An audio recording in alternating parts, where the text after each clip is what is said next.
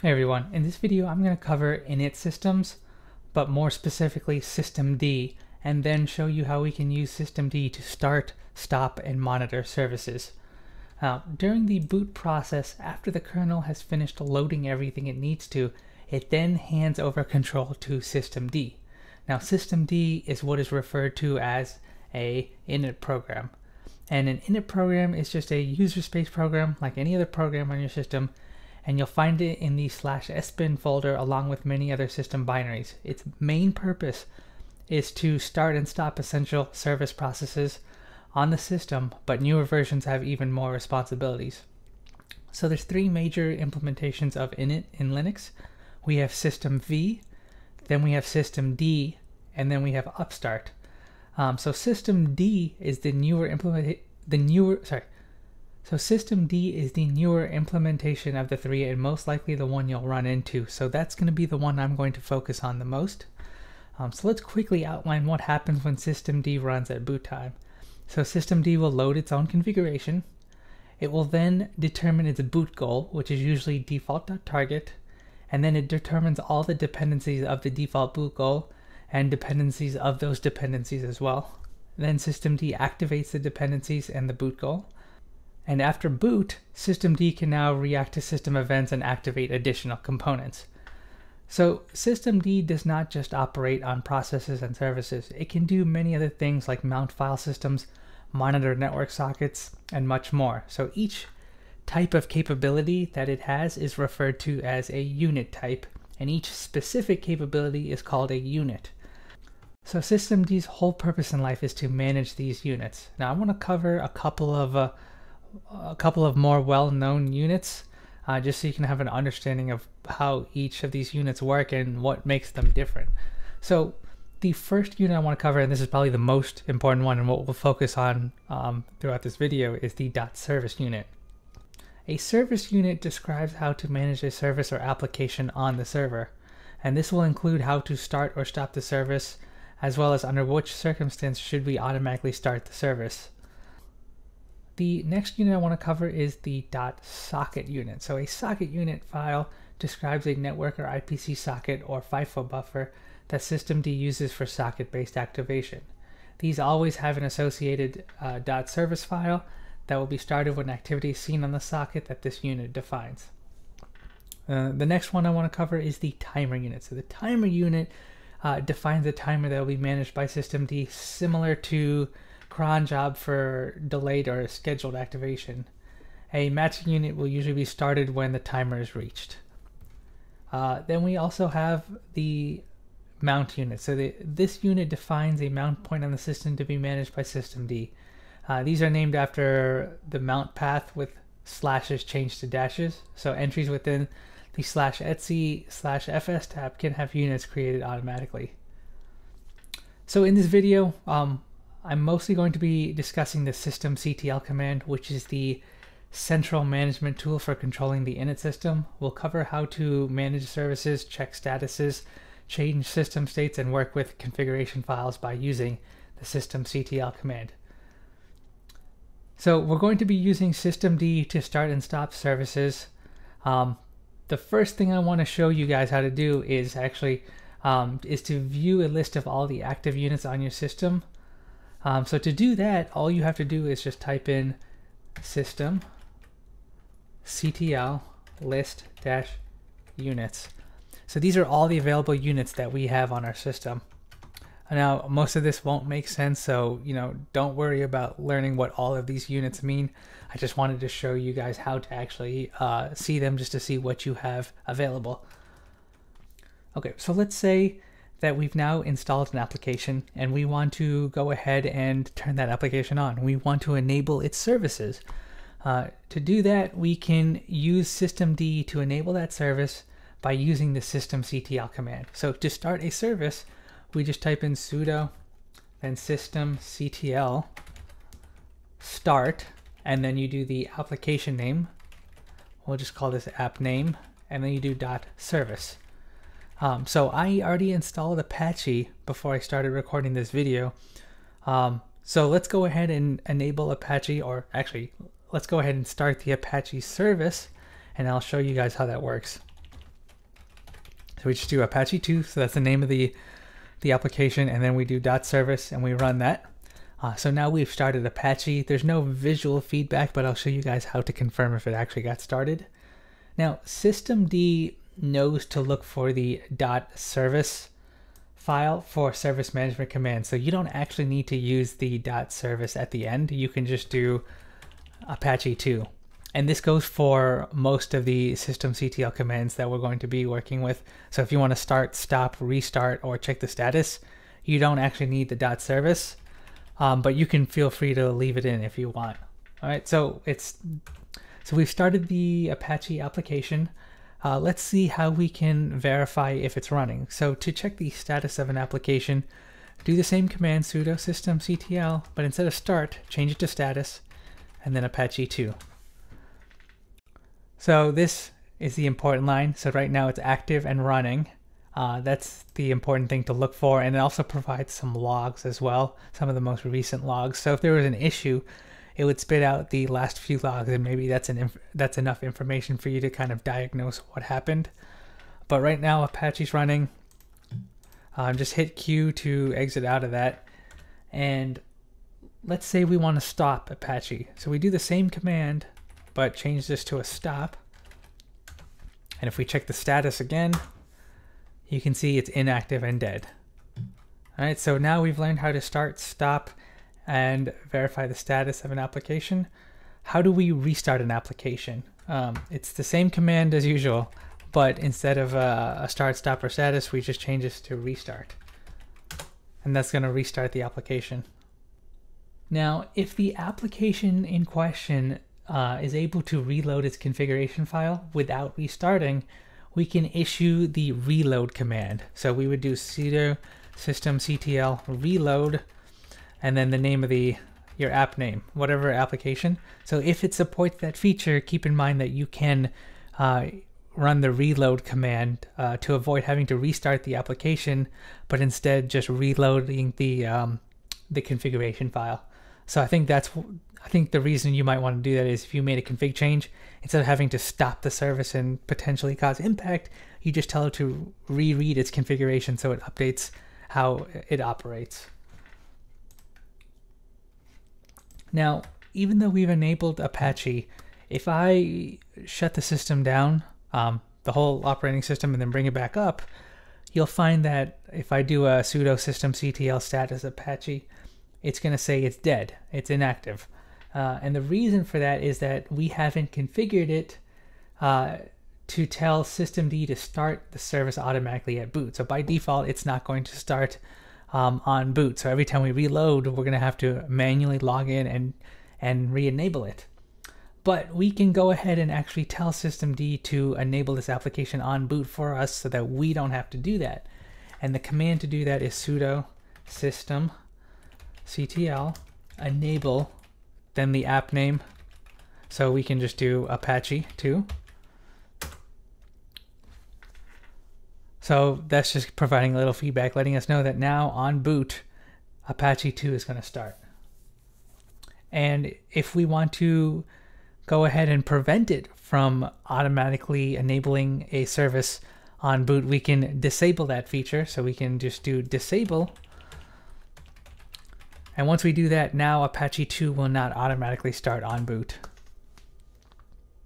If you want to verify if a service is configured to automatically um, start on boot, you can run the systemctl is enabled command and then the application name. So if we do Apache 2, it's saying it's disabled right now. And if we enable it real quick, and then check the is enabled, it's going to tell us, yes, it is enabled. It will automatically start on boot. Now, if you want to see a list of all the active units that systemd knows about, we can print that out using systemctl list dash units.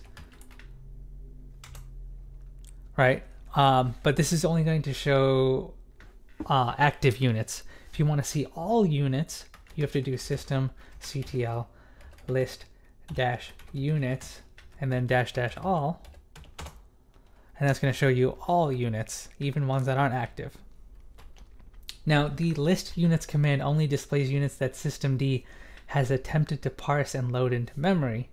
Now, since systemd will only read units that it thinks that it needs, this will not necessarily include all of the available units on the system. To see every available unit file within the systemd paths, including those that systemd has not attempted to load, you can use the list-unit-files command instead.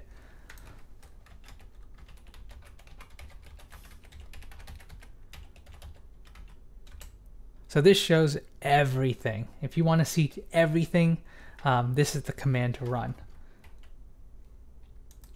Now, Linux stores these unit files in the following directory.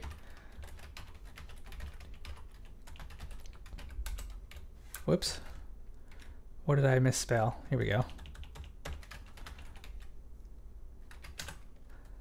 And if we just do an ls, we can see all the unit files. And we can even grep for Apache just to see the unit files associated with Apache. And you can see here we've got a couple of them, and this is the one we were working on to start and stop the Apache service. So this is the unit file that allows us to do that. Alright guys, I've showed you how to start, stop, restart, and monitor different services using systemd. I want to show you guys now how to view the logs for systemd. So systemd has um, the journal ctl command, which is used for viewing logs collected by systemd itself. Um, the systemd-journald service is responsible for the systemd's log collection and it retrieves messages from the kernel, the systemd services, and other sources. And these logs are all gathered in a central location which makes them really easy to um, review and look over. The log records in the journal are structured and indexed, and as a result, the journal CTL is able to present your log information in a variety of useful formats. Um, so to look at the journal CTL, all you have to type in is just journal CTL. So that's going to show you all of the logs that systemd has created. Um, now, this isn't really that useful because it's a ton of logs for all services in the kernel, and it's all just jammed up into essentially one file. And that's not going to be very helpful for us because it's a massive amount of logs. So journalctl gives us a few commands that allow us to filter out what we're looking for based off of different criteria. Um, let's say we want to see all the logs from a certain point. We can do that um, with the dash dash since flag. So we can do journal ctl and then we do dash dash since. And we put quotations and then we put the date and time. So let's uh, let's say we want to see all logs from August 16th okay? Um, the format of the time or the date and time would be 2018 well actually it's 2019 2019 dash 08 for August. And then we want August 16th and then we put the time. So we could do, you know, that would be 12, 30, um, zero seconds, okay? Uh, so that's the format that we would provide. And you can see here all the logs from the, the point at which we uh, asked for. Um, we can also do the exact opposite of that instead and use the, actually before we proceed, um, if you just want to see from a certain date, you can actually just leave the time off and it's going to default to just zero zero. So if you don't put a time, it's just going to default to that. So if you have no preference in time, just go ahead and put the date in there.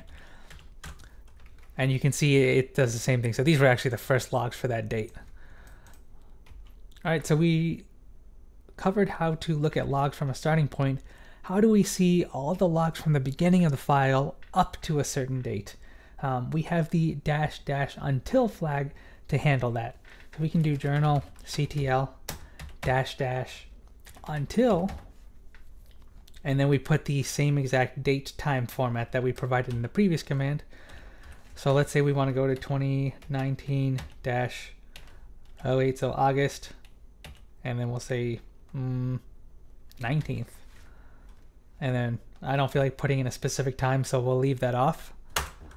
And you can see here, it's going to start at the top of the file. So the first log for this journal CTL is at August 10th. And it's going to go all the way up to the date I requested. So it's going to go all the way to August 19th. I'm not going to scroll through all of that for you guys, but just know that that's how that command works. And we can also combine both of those flags to give us a specific window. So if we want to see just like a two day window from, um, let's say the 17th to the 19th, we can do that as well. So we can do journal CTL dash dash uh, since 2019 dash 08 dash 17. So this is saying start at this date and then go until this date. So we're going to get those two days worth of logs. And once again, you can also put in specific times as well. And you can see here, we start at the 17th and we can go, it'll go all the way till the 19th. And there we go, right? This is just a few seconds before it turns to August 19th. Um, Journal CTL has a few other commands to make it a little easier to uh, see specific logs. We can also do the dash yesterday flag. So it's going to show you logs for the day before, and we can just do journal CTL dash dash since yesterday. And it's going to show me the logs for yesterday or since yesterday.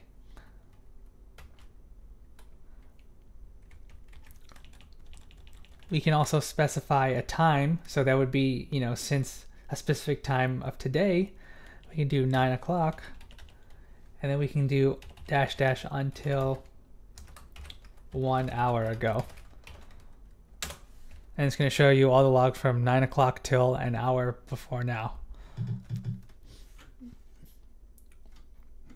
If you want to see all the logs um, for the last boot of your server, we can do journal ctl